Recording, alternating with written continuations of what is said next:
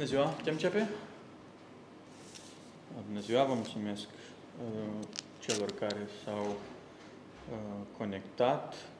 Uh, astăzi înregistrez un proiect de lege care să aducă mai multă corectitudine între relația dintre bugetul public național și bugetul autonomiei Găgăuze.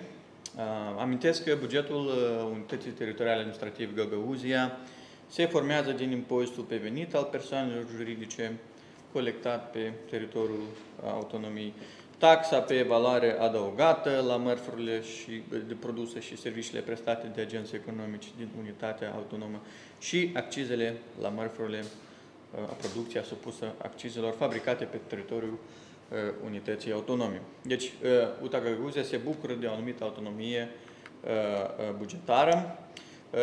Vreau să mă refer și la situație generală.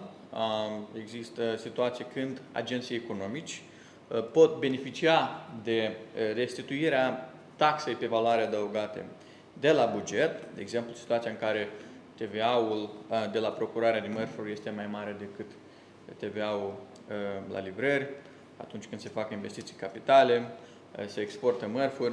Deci, în aceste situații, agentul economic cere restituirea taxei pe valoare adăugată, restituirea care, în mod normal, se face din um, același um, buget. Uh, însă, în mod neclar, uh, contrar principiilor autonomiei bugetare și autonomiei, de fapt, locale, restituirile TVA în beneficiu agenților economici din UTAG, din Autonomie Găguze, se face din contul uh, bugetului de stat, bugetul național.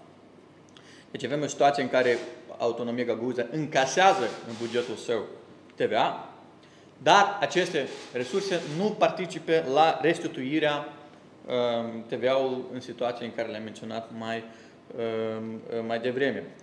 Uh, deci contribuabililor din UTAG li se restituie TVA nu din bugetul local, ci din bugetul de stat, așa cum am menționat. Această prevedere a fost introdusă în 2004 pe timpul comuniștilor și vreau să menționez că doar în ultimii 5 ani bugetul central a rambursat peste 640 de milioane de lei în calitate de sumă TVA către autonomia Găgăuzei. Deci, așadar, proiectul de lege pe care îl voi înregistra în cel mai scurt timp vine să rezolve această inichitate.